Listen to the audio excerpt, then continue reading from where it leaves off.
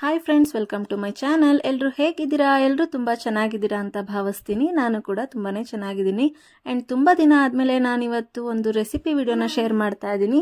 ಅದು ಬಂದು ಬಿಸಿಬೇಳೆ ಬಾತ್ ರೆಸಿಪಿನ ಶೇರ್ ಮಾಡ್ತಾ ಇದ್ದೀನಿ. ತುಂಬ ಟೇಸ್ಟಿಯಾಗಿರುತ್ತೆ ಆ್ಯಂಡ್ ಹೋಟೆಲ್ ಸ್ಟೈಲಲ್ಲೇ ಮಾಡಿರೋದು.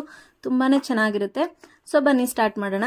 ಯಾವ್ಯಾವ ಇಂಗ್ರೀಡಿಯೆಂಟ್ಸ್ ಬೇಕು ಅಂತ ತೋರಿಸ್ತಾ ಇದ್ದೀನಿ ಇಲ್ಲಿ ನಾನು ತರಕಾರಿಗಳು ತೋರಿಸ್ತಾ ಇದ್ದೀನಿ ನವಿಲ್ಕೋಸು ಒಂದು ಕಪ್ ಆಗೋಷ್ಟು ಆಲೂಗೆಡ್ಡೆ ಕ್ಯಾರೆಟ್ ಬೀನ್ಸ್ ಮತ್ತು ಹಸಿ ಬಟಾಣಿನ ತಗೊಂಡಿದ್ದೀನಿ ಸೊ ನಿಮಗೆ ಬೇರೆ ಯಾವ ತರಕಾರಿ ಬೇಕಾದರೂ ಕೂಡ ನೀವು ಇದರಲ್ಲಿ ಆ್ಯಡ್ ಮಾಡ್ಕೊಬಹುದು ಆ್ಯಂಡ್ ಇಲ್ಲಿ ಗ್ಲಾಸಷ್ಟು ಅಕ್ಕಿನ ತಗೊಂಡಿದ್ದೀನಿ ಹಾಗೂ ಅದರಲ್ಲಿ ಕಾಲು ಗ್ಲಾಸಷ್ಟು ಬೇಳೆನ ತಗೊಂಡಿದ್ದೀನಿ ನಿಮಗೆ ಜಾಸ್ತಿ ಬೇಕಂದರೆ ಜಾಸ್ತಿ ತಗೊಳ್ಳಿ. ಇದು ಬಂದು ಆಲ್ಮೋಸ್ಟ್ ಒಂದು two two hundred to two fifty grams ಇರ್ಬೋದು ಅಷ್ಟೇನೆ.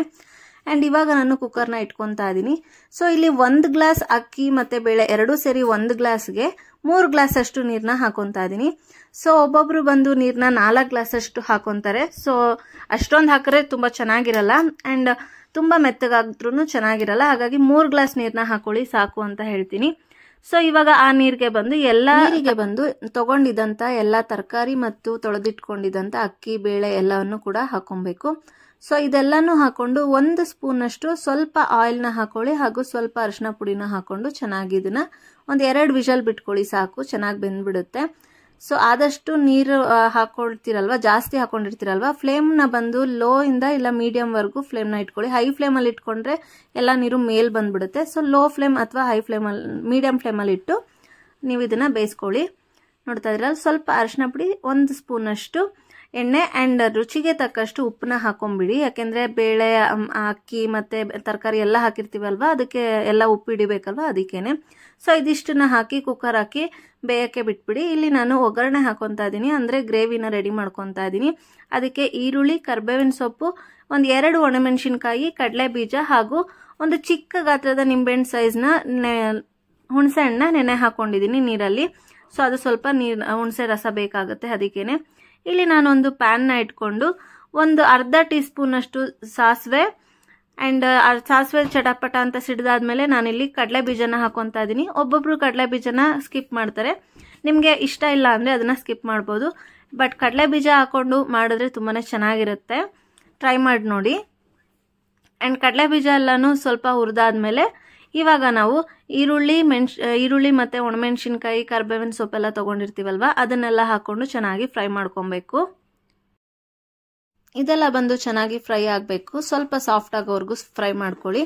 ಆ್ಯಂಡ್ ಇದಕ್ಕೆ ಬಂದು ಎರಡು ಟೊಮೆಟೊನ ಚಿಕ್ಕದಾಗಿ ಕಟ್ ಮಾಡಿ ಹಾಕೊಳ್ಳಿ. ಆದಷ್ಟು ಹುಳಿ ಟೊಮೆಟೊ ಇದ್ದರೆ ಹುಳಿ ಟೊಮೆಟೊ ಹಾಕೊಳ್ಳಿ, ಇಲ್ಲಾಂದರೆ ನಾರ್ಮಲ್ ಟೊಮೆಟೊನ ಹಾಕೊಳ್ಳಿ.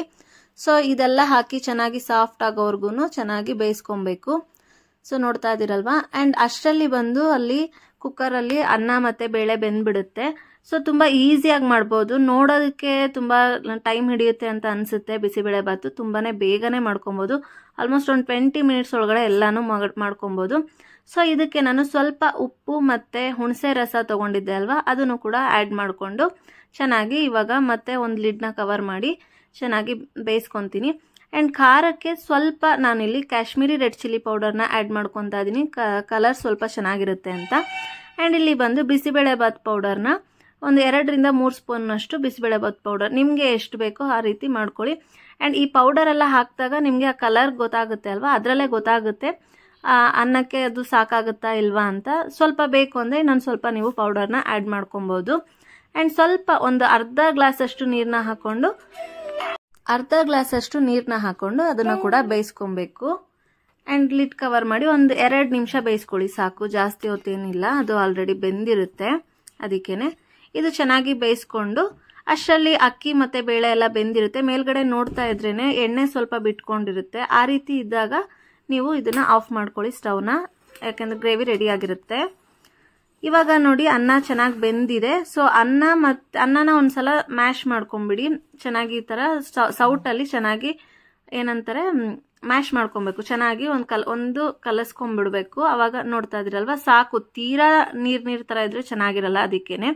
ಇವಾಗ ತಗೊ, ಮಾಡಿ ಇಟ್ಕೊಂಡಿದ್ದಂಥ ಗೊಜ್ಜಿದೆಯಲ್ವಾ ಬಿಸಿಬೇಳೆ ಬಾತ್ ಗೊಜ್ಜನ್ನ ಅದಕ್ಕೆ ಹಾಕಿ ಮಿಕ್ಸ್ ಮಾಡಿ ಒಂದು ಲೋ ಫ್ಲೇಮಲ್ಲಿ ಇಟ್ಟು ಒಂದು ಎರಡು ನಿಮಿಷ ನೀವು ಅದನ್ನು ಬೇಯಿಸ್ಕೊಬೇಕು. ಅಷ್ಟೇ ಬಿಸಿಬೇಳೆ ಭಾತ್ ರೆಸಿಪಿ ತುಂಬಾ ಈಸಿಯಾಗಿ ಮಾಡ್ಬೋದು ಆ್ಯಂಡ್ ತುಂಬಾ ಟೇಸ್ಟಿಯಾಗಿರುತ್ತೆ ಖಾರ ಬಂದು ನಿಮಗೆ ಸ್ವಲ್ಪ ಜಾಸ್ತಿ ಬೇಕಂದರೆ ಜಾಸ್ತಿ ಹಾಕೊಬೋದು.